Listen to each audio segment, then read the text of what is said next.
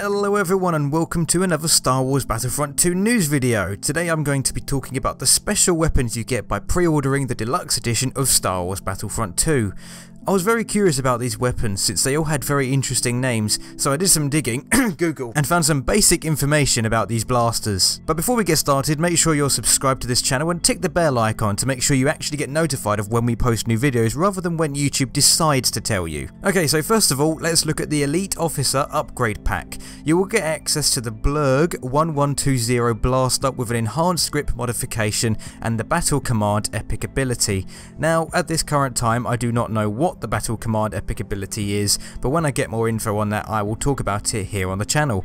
But the Blurrg, however, is a pistol used by a character you may be familiar with if you watch the animated show Star Wars Rebels. Yes, that's right, the Blurrg is Hera's pistol, and it will be used by officers during battle operations in Star Wars Battlefront 2. Now, I'm not surprised that the officers will be getting this weapon, as chances are you will not be very heavily armed if you choose to play as an officer in Battlefront 2, but it looks quite cool, so I'm not mad about that. Next up is the Heavy Metal Upgrade Pack. It states that you'll be taking on the toughest enemies with the FW MB10 Mega Blaster, with a barrel vent modification and the Personal Shield epic ability. Now, I don't think I need to explain what the Personal Shield is, as, as it's in the current Battlefront, and we all love it. But what I'm wondering is if you can now shoot out of the shield like the droidekas can in the old Star Wars Battlefront 2. But the Mega Blaster, however, is extremely cool. It's a mounted LMG, and it was used by the First Order during the Force Awakens era, and it looks like you'll be able to tear some stuff up with that bad boy. Next up is the Armoured Assault Upgrade Pack. In this pack, you'll get early access to the CR2 with a trigger modification and a grenade epic ability.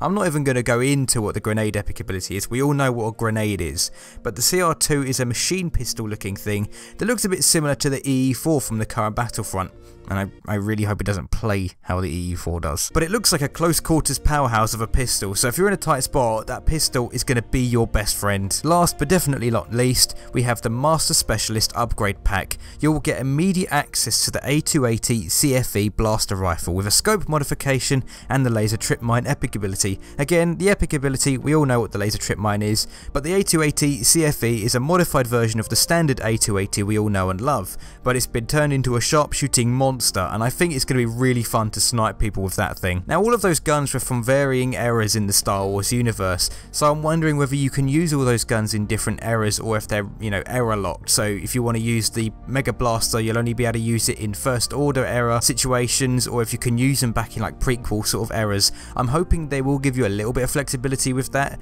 but we'll see when the game comes out or when we get closer to release, when we actually see gameplay, we'll probably get an idea as to how this game is going to run with that sort of idea in mind. I'm assuming at the moment it's going to be just like regioned down to like you know whatever era you're playing in but either way that's not a big deal because it looks like you can pretty much get like varying errors with these pre-order weapons. I mean, the A280 CFE is a Rogue One thing. The Blurrg was used sort of around after the Clone Wars ended and before the events of A New Hope. So it's set during like the original trilogy sort of time era. And then you've also got the Mega Blaster and that was obviously First Order. But the CR2 I don't really know. I have no idea what time that is from but it looks cool. That's what matters. So those were all the guns you get in the pre-order of the deluxe edition of Star Wars Battlefront 2. If you find this video at all interesting please give us a thumbs up to show support. Remember to subscribe for regular Star Wars Battlefront 2 news and I will see you very soon.